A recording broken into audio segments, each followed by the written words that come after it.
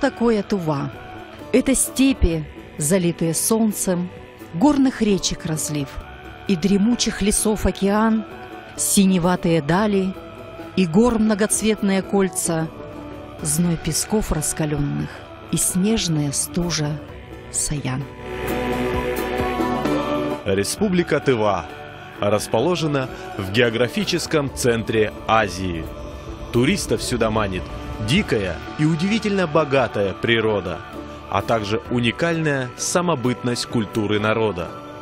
Тут можно встретить непроходимые леса и бескрайние степи, вечные ледники и знойные пустыни, неугомонные реки и высокие горы, таинственные курганы, целебные аржаны и древние памятники археологии, окутанные тайнами и загадками. Здесь живет более ста национальностей, культура и традиции которых переплетены с современностью. Гостеприимство и широта народа души делает этот край еще более привлекательней. 17 районов республики, сотни километров пути, историко-культурное наследие, сохранившаяся культура и необыкновенная природа – все это в России, в Туве – Климат республики резко континентальный. Географическое положение определяет богатство ее флоры и фауны. Республика обладает богатым потенциалом пресной воды. На территории республики насчитывается 430 озер и более 50 целебных источников, воды которых успешно используются для лечения различного рода заболеваний.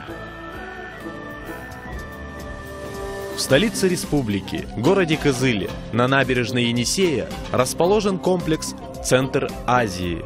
Автором уникальных скульптур стал мастер с мировым именем Даши Намдаков. Каждый гость и житель города Кызыла приходит сюда, чтобы почувствовать уникальность своего местонахождения.